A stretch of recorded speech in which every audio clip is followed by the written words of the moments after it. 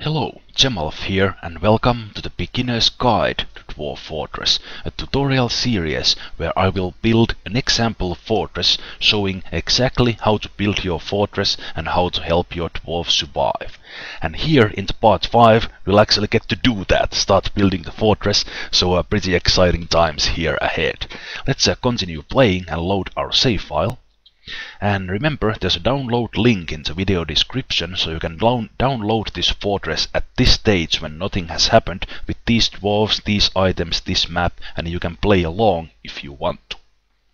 Okay, uh, first thing I want to do when I'm starting starting to build a fortress is to get an overview of things. So I'm looking at the unit list, view, I already did this in part 4, but little recap here. Others list, uh, I don't see any dangerous creatures or any creatures nearby, but I want to keep an eye on this list every now and then, especially as soon as I unpause the game and the dwarves start doing things, so I'll see if any any animals or creatures, especially dangerous animals, uh, wander in from the neighboring sectors. So let's keep that in mind. Next thing, I want to get an overview of the area, so I will zoom out and uh, see that this area is relatively flat. Uh, no uh, big uh, big cliffs or anything, uh, just the treetops there. And um, as I look at this map, uh, I'm kind of drawn into this valley here that is right next to my dwarves. no particular reason, but it's kind of a nice area. There are some lakes here, so I could even eventually wall off this valley here in, in this level. And maybe dig into one of these uh, cliffs of this valley and uh, dig a tunnel into the ground and start building my fortress somewhere in here. Mm, yeah, I think I think this valley valley looks nice. Uh, the map is uh, map is good uh, for a beginner like this when it's flat. If there are a lot of cliffs, it's uh, quite uh, difficult to uh, follow follow things along if you need to move up and down on the on the cliffs to see uh, see where things are and so on. But uh, let's zoom back in. And as we remember, remember from the part 4, with F1 we can at any moment return to, uh, to our dwarves. That is because the default hotkey, capital H, is set to the wagon. Uh, we can adjust these later to have shortcuts and move fast to different parts of the of the fortress. But that is uh, that is fine for us for now. Next thing I do is uh, look at things with the K key.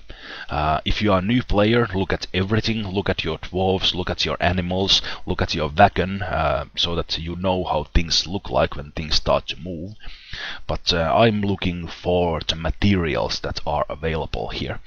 Uh, I notice here that there's an obsidian boulder here. This is extremely good news and it tells me that there's volcanic activity here in this area because obsidian is uh, formed when magma meets water or when uh, magma is uh, solidified and uh, obsidian is formed. So there might even be a volcano straight beneath the surface. But uh, anyway, obsidian is good news. It's a very valuable stone, so when I get around to stone crafting and making furniture, those furnitures will be valuable for both, uh, and items will be valuable for both trading and making uh, dwarves happy, because they like those uh, valuable items. Right, let's look at this valley. The cliffs are made of peat wall. This is soft material, easy for my uh, new miners to dig into, or new miner, and uh, even untrained untrained dwarf can easily dig into this. Uh, if I look around the lakes here, I can see more damp peat, uh, sandy loam.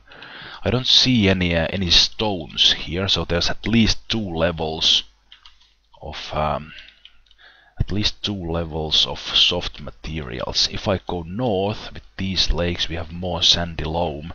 Okay, so I can't can't see many things. Here on this cliff there are some basalt upward slope. Okay, basalt is also a stone um, also stone that is uh, near to volca volcanoes and volcanic activity. This might be that the volcano is on the next uh, neighboring sector or it might be somewhere here, so it'll be interesting to look for that. Because we don't have any brook or river in this area, uh, I don't get to see the edges of that but that's a good point to look at you can see usually see uh, some metals there or at least what kind of stone is is there. So uh, when you get more experience you know based on the stone at least if you look at the wiki based on the stone uh, what kind of metals can you expect to find here. The obsidian and the possible volcano is good news because dwarves can use the magma to power up their uh, their uh, metal industry, but it is also uh, in a way bad news because that affects the layers we can find and might mean that we have a hard time fighting metals. On the other hand, the Embark zone did tell me that there are shallow metals here, so uh, we'll see. Right, now that I have looked around, I've kinda decided I will build into this into this valley. Uh, eventually wall it off. I will dig into uh, yeah this looks good. I will dig into this into this soil here uh, making this area here kind of my entrance eventually making it free wide so that the traders come can come in and I will make an entrance corridor right here. But before I start designating things a word about that uh, I don't control my dwarves directly. I give them uh, give them things to do by designating things to be done. And then dwarves, if they have the related labor enabled so that they are assigned to do that job, they will uh, do it unless they have something else to do, uh, like their other the laborers or eating, drinking or sleeping or just having a break. So um, that's important concept because I, I can't I can't force the dwarves to do uh, things apart from uh, doing some tricks tricks with the laborers, assigning assigning only a only the only the labor I want to get done for some dwarf or something. But uh, since I don't control them directly, I will give them things to do by designating things. So that's that's where we'll begin. But before we go into that, I want to assign some labors for the dwarves, something that the starting skills didn't cover. As mentioned in that Embark profile setting video, the dwarves can do any job, even if they don't have a skill, they will they will just do uh, uh, do it slower and with poorer quality at start. So uh, let's open a tool called Dwarf Therapist. As I showed in part part 4, I can adjust the labors of these dwarves by going into their preferences and labor. But uh, this is quite a quite um, difficult way to do it, especially when your fortress grows into 20, 50 or even 200 dwarves. So uh, Dwarf Therapist helps. And the tool looks like this. I will connect to Dwarf Fortress and here are my dwarves and here are their skills and here are their labors. Uh, this is a special version of Dwarf Therapist. This is a Dwarf Therapist clone called Splinter Mind Attributes. There's some special features here, including uh, showing the numeric values of all the attributes, but let's not focus on that. Even if you use the normal dwarf therapist, this uh, labor assigning will be similar. So I can see here that this uh, Iton Pardum Dekel is my miner. He has uh, 5 skill in, the, in mining, and he's, uh, he's a miner and a weaponsmith, if I go to the right, we can see that he's at skill level 5 in weaponsmithing and he has that labor enabled because uh, there's that tag. And here I can assign labors for the dwarves by clicking in these screens. So already in the, in the part 4, as I assigned my woodcutter also as the plant gatherer, even that he's not skilled in it, in case I want to pick some herbs. So I will do that for, uh, for these other things as well. Uh, for example, I want my I want my expedition leader, who is the mechanic, also take care of possible butchery jobs and tanning, and uh, he can also take care of um, well, actually, since this is a Splinter Mind uh, attributes, let me take the role view from here. This is pretty interesting. This uh, grades and ranks the dwarves based on their attributes, who would be best with this job. And okay, uh, actually my uh, my uh, expedition leader is the best for animal training, even uh, stats wise. This is quite advanced thing, but I'm showing here how I do things, so you will, uh, you can follow follow along if you want. Um, but I'm more importantly, I'm assigning this to uh, to the to the expedition leader because he's the most likely to have time for these things if the time comes. The miner will be mining, the woodcutter will be woodcutting, the carpenter will be will be doing woodwork, and the mason will be putting out stone furniture. My farmers will be busy farming, so expedition leader is the one who uh, most likely has time for this. And then, if you remember, I brought some milk with me, so I do want to make cheese. So I'll make my cook also the cheese maker, and then uh, I'll also uh, put some uh, plant processing here for my uh, for my brewer. The brewer can also be miller. I will assign these laborers to skilled immigrants if and when they arrive, but for now I want to want to have someone with the labor so things are things get done if I assign them. Same thing, I don't have a furnace operator who would be smelting metals, I don't have a wood burner who would burn wood into charcoal, so I need to assign those things as well. My woodcutter, who's also the armorer, can be the wood burner if needed and um, I think I will make my um, hmm, I think I will make the expedition leader the furnace operator. I won't be doing that so much that it would interfere with things. These are very time consuming uh, labors, furnace operating and wood burning, but for now that is fine. I will uh, commit these changes and now they are in the game. If I'd go look at the labors for the dwarves, I, I would see these labors in there. Uh, one other thing I want to do is to make my mason also the miner for now. He will immediately start putting out stone furniture when we find some, but for that until that he uh, he can mine. And is there anything else? Just a quick check if I'm forgetting anything. Let's also enable stone detailing. I won't be doing that much, but still. I have my doctor, I have my butcher, I won't be dyeing anything, no need for soap, potash, lye. Mm, I will as assign those laborers if needed. I might put a pressing job in case I want to process the rock nuts, so that I don't remember it. I won't be fishing. I will also enable blacksmithing and, uh, and metal crafting for these uh, metal dwarves in case I want to do that. Uh, gem cutting, gem setting, I want to wait for a skilled professional to come do that, so they will be done with good quality. I won't be doing any any of these crafting things yet. I might assign someone to do stone crafting or pick someone from the first immigration wave to do stone crafting, especially with the obsidian that will bump up value quite fast. Yeah, that is it. Let's commit changes. And that was a dwarf therapist this case the splinter mind attributes version and we assigned labors for the dwarves. So now when I assign things to do for example if I'd assign plants to be gathered there would be a dwarf to do it even that uh, he's not skilled at it. And the same thing for making that cheese from the milk. And now, now I can start assigning things finally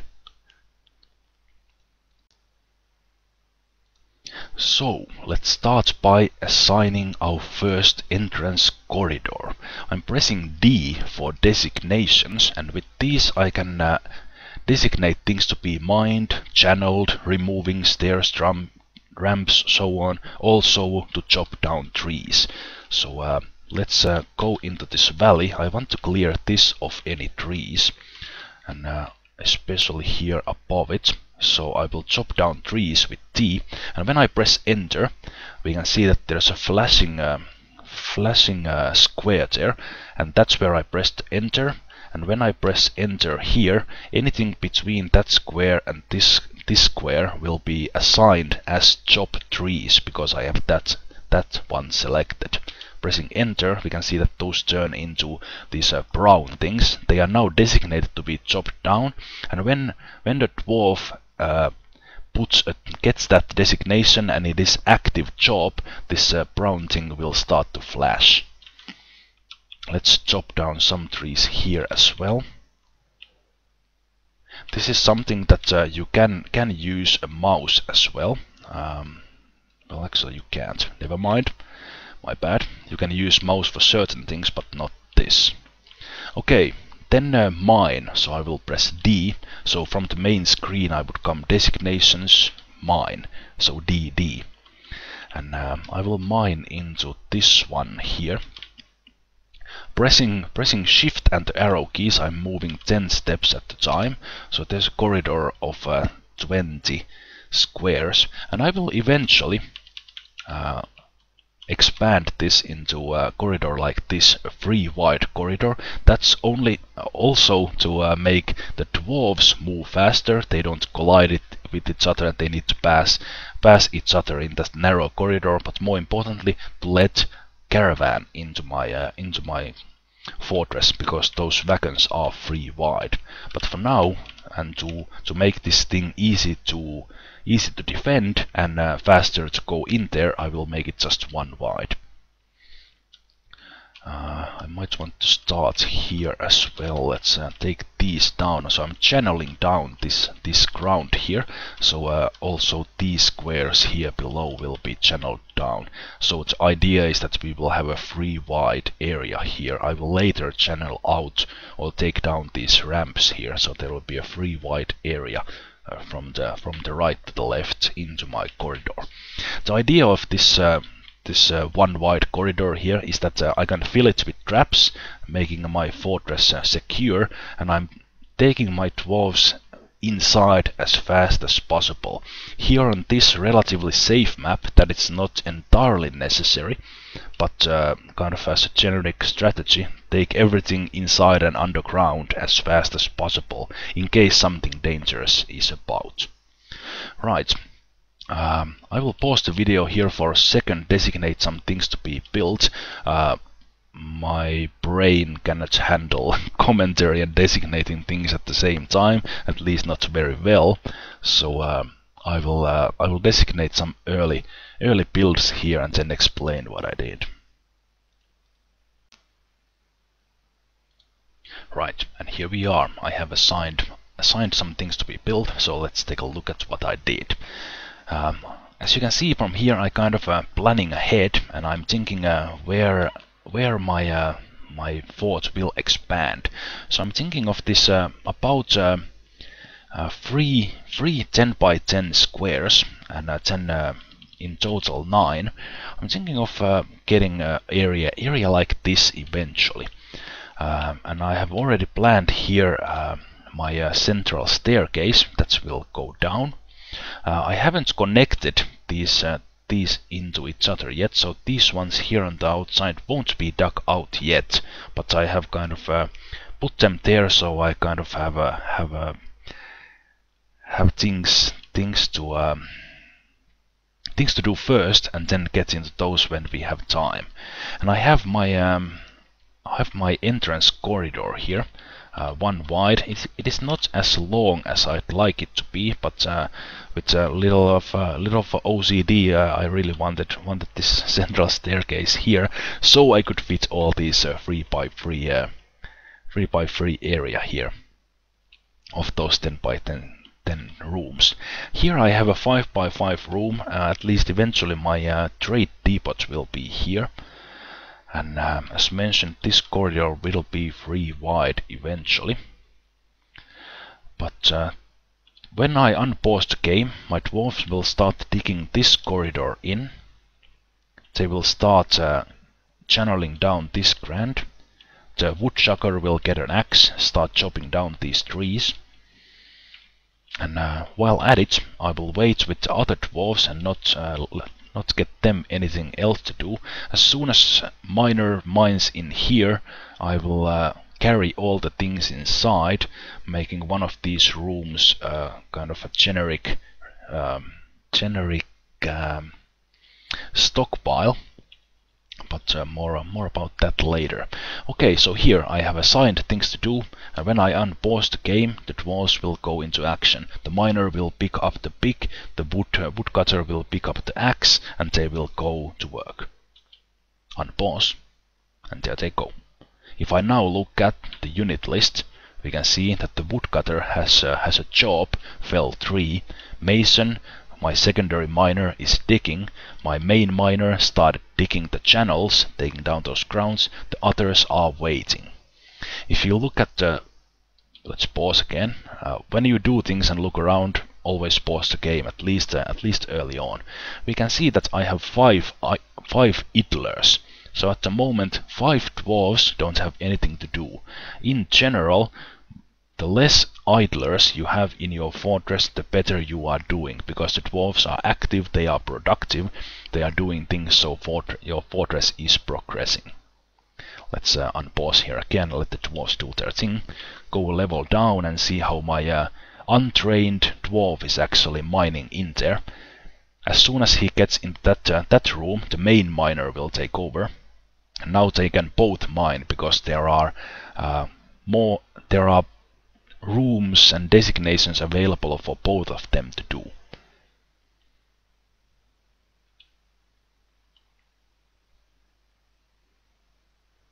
now they are digging staircases down. We can see from the level down that there is uh, also soft soil here. Good news for us.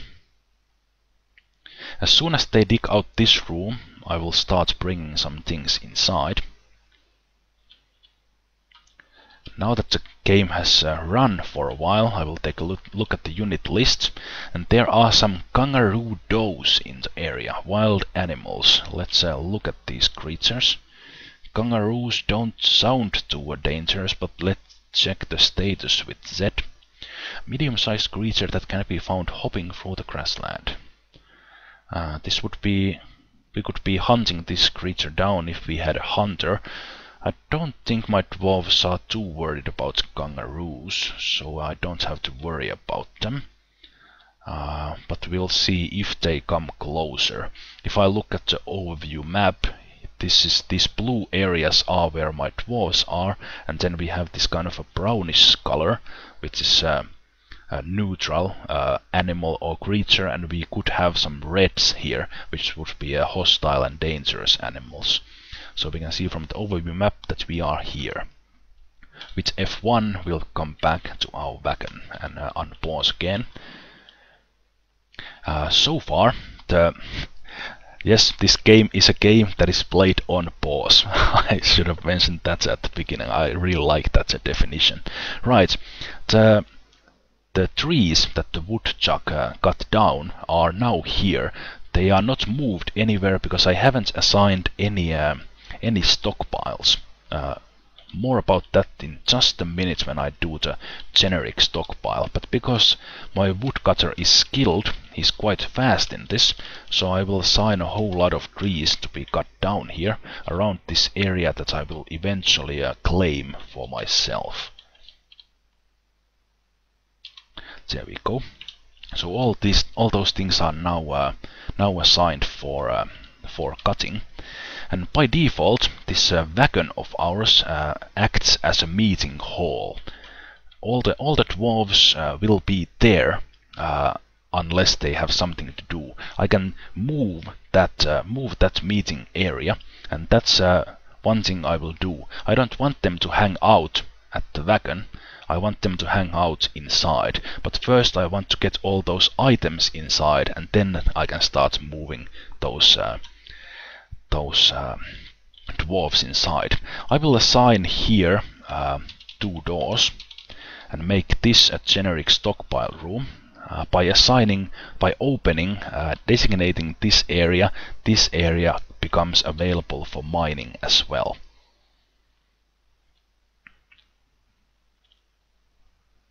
I don't want to designate and assign too many things to be mined out, because as you see the dwarves do kind of a random job.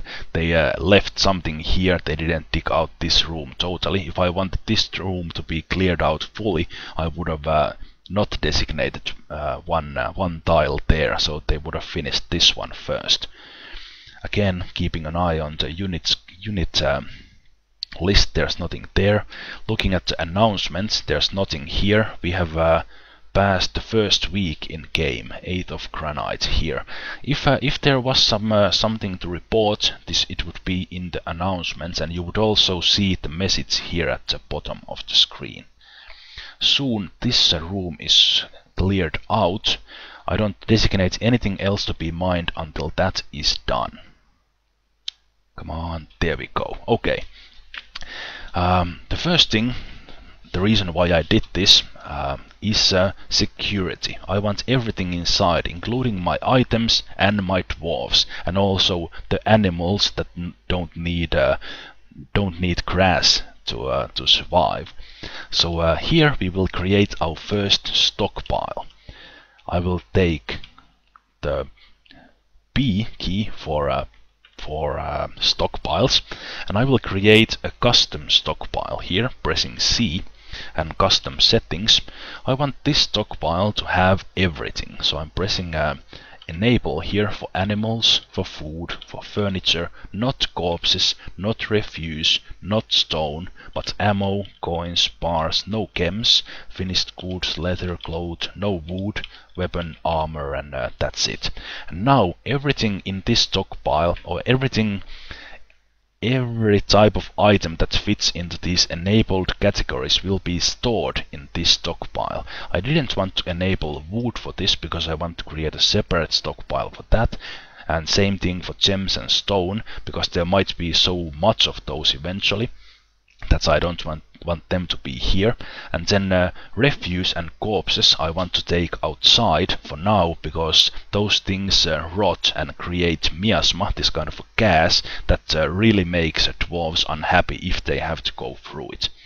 But now I need to uh, and need to actually place the stockpile here. In the same way I designated mining I press enter here and then take the square to the other side of the room and uh, now this one is a generic stockpile with those settings.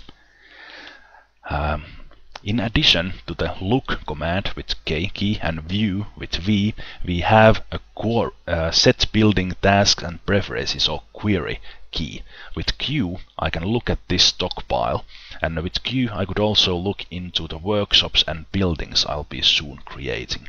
Here I could change settings for this stockpile 1, but uh, I don't want to do that because this was uh, completely fine as I set it. So that is there. Now I want to set a wood stockpile for the wood, because wood is something that is brought from outside to inside in general. I want the stockpile to be close to the entrance. So I will create a wood stockpile here in the in the main uh, main entrance. Let's make it uh, like this for now. I pressed uh, stockpile so P and then V for wood and uh, no custom settings this time. And now that is a wood stockpile. And then I want to create that refuse stockpile outside. So P and recreate refuse. And uh, I want to be... I will move this later somewhere, but let's make it there and let's make it big enough for now. And if I look at this uh, refuse stockpile, change settings, I hope I don't get uh, get uh, any dwarf corpses uh, anytime soon, but I will uh, enable corpses for this stockpile as well. So any any corpses that may be found are hauled here, so that they are not lying around somewhere somewhere unsafe. So okay, unpause, and now uh, since there is a generic stockpile, all the dwarves started carrying those items into the generic stockpile. We have zero idlers. If I look at the unit list, all those five five uh, dwarves that didn't have anything to do are now storing item in stockpile. This is called hauling, and hauling is important in uh, in for in the fortress. Uh, make things uh, run smoothly. Unpause again and things are running. They are first hauling all that wood into the wood stockpile. And since the miners don't have anything to do, I also want to designate things to be built. I will build under my uh, central staircase downstairs, an up and down stairway. And I will do this couple of levels not down, not too deep, but uh, a bit.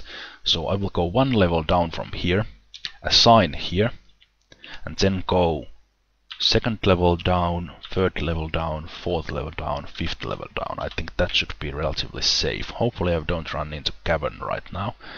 Uh, but uh, we'll we'll see. So that is now assigned. I want to see what's down there.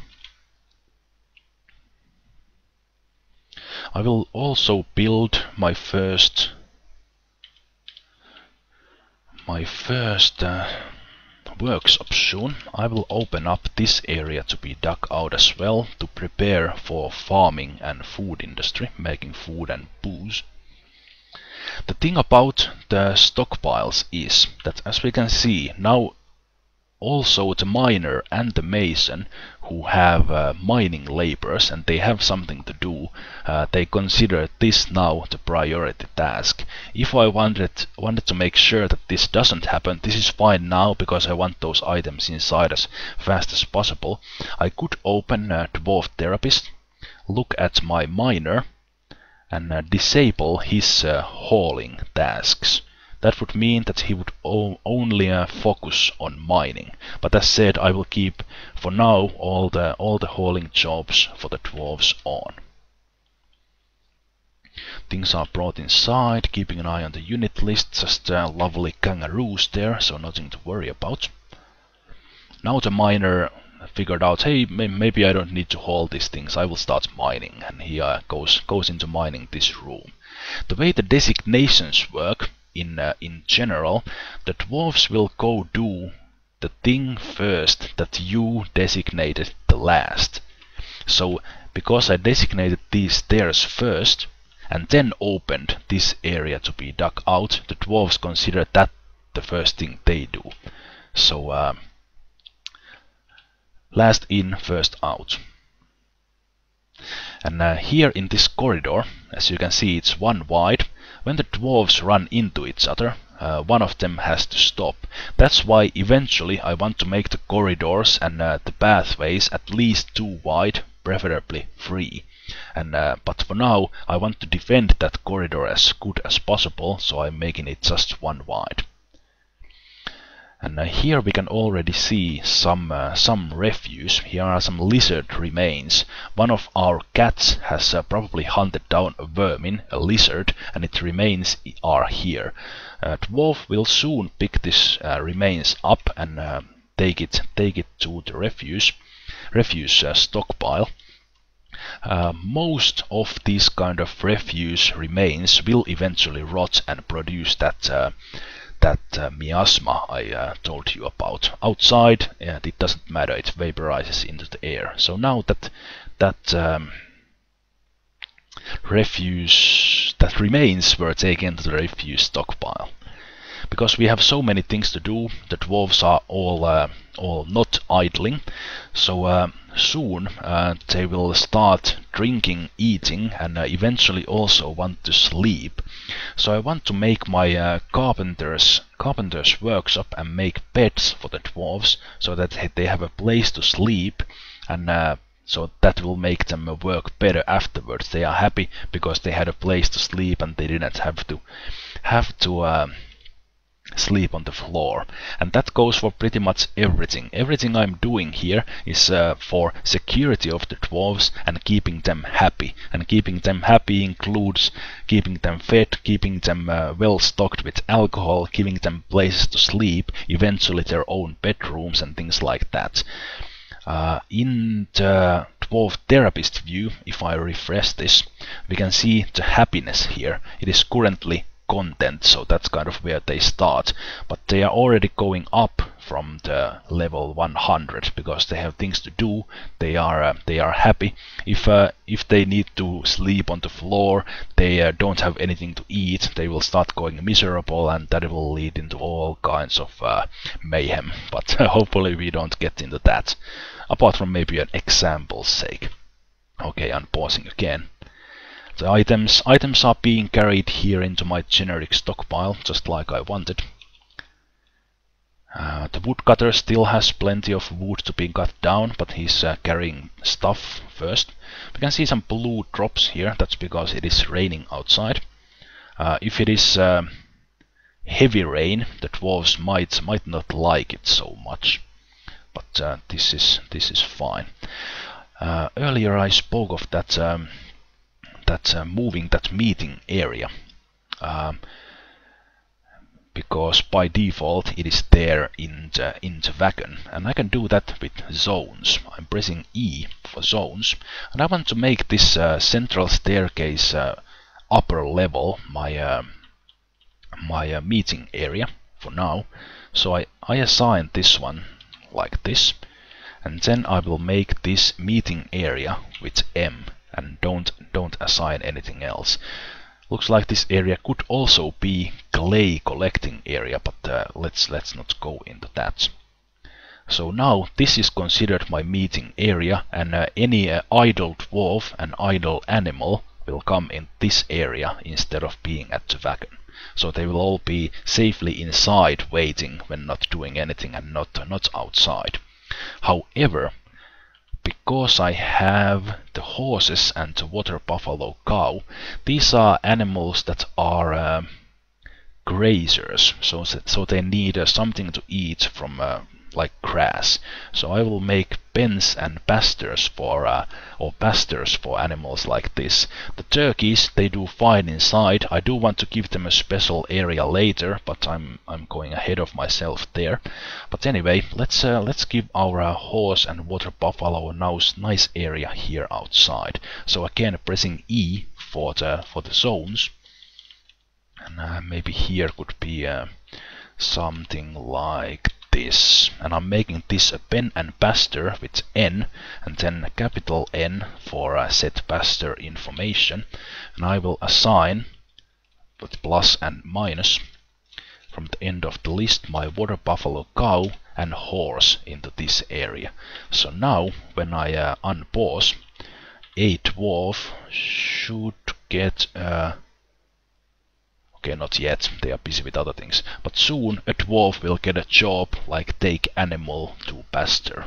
It's similar, similar as storing items in a stockpile, but this time uh, storing an animal into a pasture. And as you saw, the dwarves were already drinking. It is now 21st of granite, so it's three weeks after since we started. The dwarves drink on average two times per season or two times per month. When Elimate they, they drink drink quite often. Yeah, I need to double check that how, how that goes. Um, I think it's two times per season and they eat once per season or something like that. So I need to keep them fed and uh, well stocked on alcohol so that they, uh, they move faster. They will survive with water but they won't like that.